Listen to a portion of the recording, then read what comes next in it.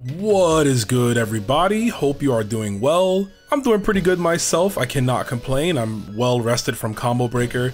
The only problem right now is that my allergies have been flaring up really badly. So I am getting sauteed and cooked by the weather, by the dust, by the pollen. Everything is cooking me right now. So I apologize in advance if my voice is a little more raspy than usual. But we're going to try our best to get through this. While my voice might be a bit of a problem right now, my Twitter fingers aren't, and those set Twitter fingers was scrolling through Twitter today, in which I saw something from a very prominent figure. And I'm sure you have too, so that's why we're here today. That prominent figure I was talking about is a Mr. Yasuyuki Oda-san, the producer slash director slash game planner. The man holds many titles for SNK. So a few hours ago at the time of this recording, Mr. Yasuyuki Oda posted an image, just a blank image, a vague image of the KOF 15 front cover, the promotional art that they've used for the game, just that image on Twitter. So of course that one image was enough to spark up people like myself and other diehard SNK, uh, or in this case KOF fans, looking for any crumb, right? Any little crumb or or like reference, anything we can, you know, use as evidence, one would say, to see if we're going to get a new uh, KOF update or a new character or anything of that sort. Now, of course, we could all be crazy, right? Uh, maybe maybe Oda was just really proud of his work, so he decided to post an image of it. Maybe he just saw the, the artwork and was like, "Damn, this is cool. I wanna I wanna just drop this on Twitter." And that could be the case. That could very well be the case that this tweet means nothing and that he is just posting, glazing his own work, if you will, and just posting it. And of course, being the content creator that I am, I have to take the smallest hint of anything possible and try to stretch that out and draw it out to these wild, you know, conclusions. Maybe put the tinfoil hat on and start guessing and start tying a knot and think of all these different various things that could mean what this one little tweet could be. But of course, I'm not coming in this empty handed or just crazy because, Your Honor, I got four pieces of evidence here, four pieces of things I think that could actually prove that we might be very well getting a new season for the KOF 15. I'm not gonna waste your time anymore. Let's get to it right here. Exhibit A, Oda-san's Twitter page. So this one is fairly simple. Uh, if you just take a look at Oda-san's Twitter page, you can see that he normally doesn't tweet. Uh, he'll just kind of repost things. Uh, he'll usually retweet the main SNK channel. And he'll retweet about if there's tournaments, if there's anything regarding the game, he usually just repost it, right? Or maybe even like it. He very, very rarely tweets. So, of course, to see him again just post this out with no other reference or no no dialogue or anything, just to post this, it definitely gives me the feeling of like, you know, hey guys, we haven't forgot about you. Like City of the Wolves is our main priority, and it's the game that we're looking forward to in the future, of course, to take SNK to new heights. But we didn't forget about KOF players, and you know there could be something potentially on the horizon for the game, whether it's an update again, whether it's more characters, whether it's aesthetics, whether it is um, even more ports, or maybe just anything for the game. It clearly tells me that like that's that's what this tweet is for, is just to let us know that we're not done. You know, we, we aren't done with this game. Uh, of course, if you guys remember, even at the SWC, there was like fam cam footage of people asking for KOF 15 uh, updates, and like Oda-san is just like kind of shushing him away, putting his finger to his mouth. He's like, "Shh, don't you know? Don't worry about it. I got you guys." So who knows? Uh, of course, this could very well mean that. Um, you know, he's uh, listen. You go on Twitter. I'm sure everyone that works for SNK has seen all of the cries, they've seen all of the desires. You can't even see a tweet from SNK without someone commenting that they're looking, oh, where's where's season three? Where's Shen Woo? Where's Vice? Where's uh this character? Where's that character? You know, like definitely people are looking forward to this, and I think that's probably the easiest bit of evidence here.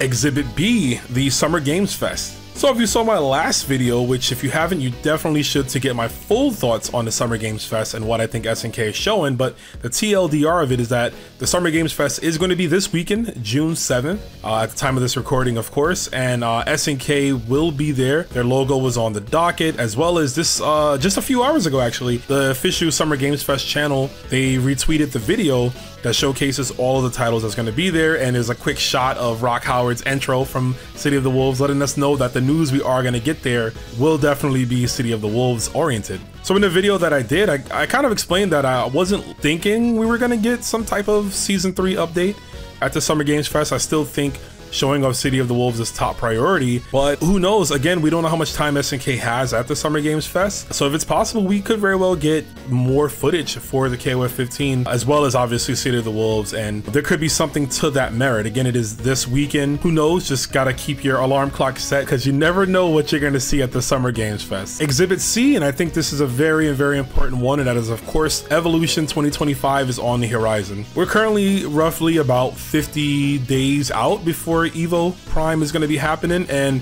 SNK obviously has a, a big history with showcasing things and not just one thing but multiple things off at evo. Uh, if you remember evo 2022 is when we got the multiple trailers. We have the announcement trailer for city of the wolves. We had the season 2 announcement for kof 15 where they showed off kim and I think just one or two other DLC characters, but they kind of gave us a roadmap. Uh, of course, fast forward to last year, 2023, where not only was Naj first playable at Evo, but they also showed the Duo Lon trailer and they also announced a balance patch. And speaking of announcing balance patches, I do think if we are going to get some news at EVO, I think in the best interest for everyone overall, it'd be great if we got a balance patch actually before EVO. Um, I'm not one to really harp on this too much, but obviously a lot of people on on the social medias are dooming and glooming because if you look at the Evo charts as far as the list of players, KOF is last, right, of the main games. It's, it's number eight on the list, which to me, I don't think is a bad thing. The game is three years old.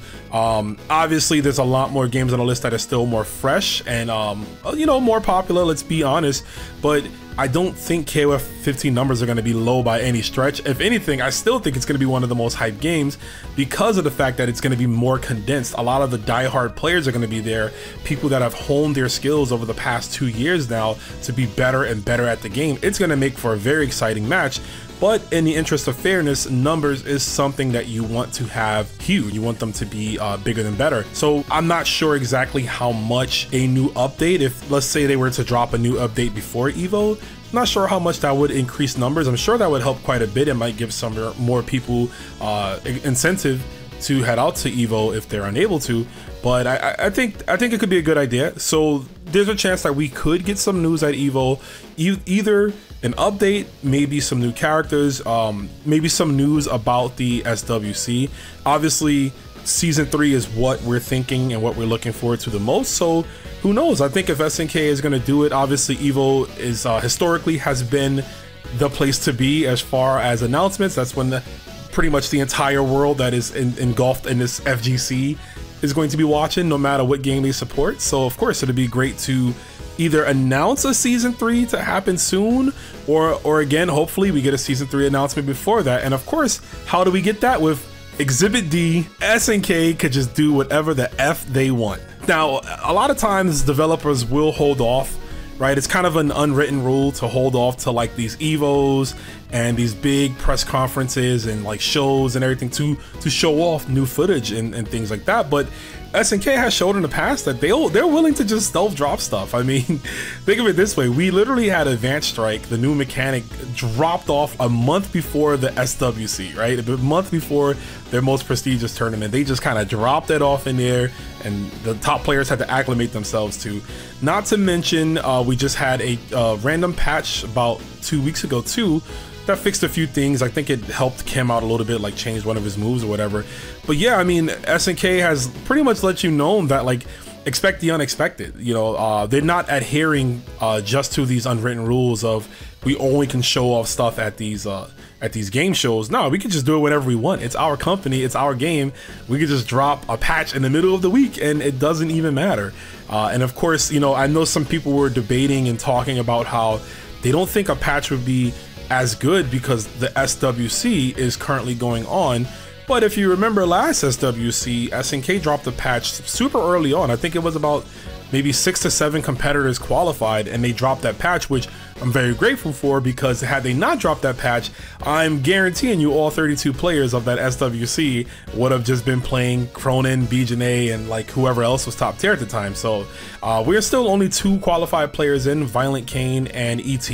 Uh, those are the only two. So I think, hell, you know what? If we're gonna get a new balance patch, why not shake things up? Evo's on the way, like I just mentioned previously. Shake things up before then. You know, drop it right now, stealth drop it, do whatever you want. I just think that, uh, you know, at this point, SNK can kind of do and move they, they move to the beat of their own drum and they can do whatever they desire to do. So i just present that to you as the final piece of evidence as to why i think this tweet is more than just you know him dropping an image. One of the big complaints about snk social media uh, from the fans is that people feel like they don't tweet enough or they don't communicate enough with us. And lately you know it's looking like things are getting better Obviously, Oda-san with this tweet, we've seen SNK uh, show off these really cool renders for City of the Wolves, uh, which has a little bit of backstory about the characters. So again, I'm I'm all in on that. I love me some some background, some lore. You know, I love learning about these characters outside of just playing them in the game. Uh, and of course, uh, one of the the other complaints was the fact that they uh, people felt they were announcing SWC qualifier spots too late. You know, Combo Breaker was announced a few days before the event, and I know there were some people who said they you know they were upset because they would have made Combo Breaker a priority to go. But if you look at it now, um, there's a tournament uh, in Malaysia as well as Evo that SNK has announced beforehand. Uh, they announced that those tournaments will be SWC qualifier spots. So again, that's great and it's cool. It shows that they are listening to some of the feedback, some of the critiques. And um, you know the fact that they're announcing things a little bit earlier, it's going to help out the players overall. People can actually start to plan if they weren't going to go. Um, they can practice up, and of course, more numbers the better. That's what we always want. That's what we need to see. That's going to be it for this video, folks. Let me know in the comment section below, what do you guys think this tweet is all about? Do you think Oda-san is just having fun with us? Do you think this tweet has any merits? If so, what do you want to see from KOF Season 3 potentially? I'm Rome himself. You've been great, and I'll see you in the future. That's all for now, fighters. But if you've enjoyed what you've seen, be sure to like, comment, and subscribe. Also, don't forget to follow Rome's social media pages down below. Take care, see you next time, and most importantly, thank you for watching.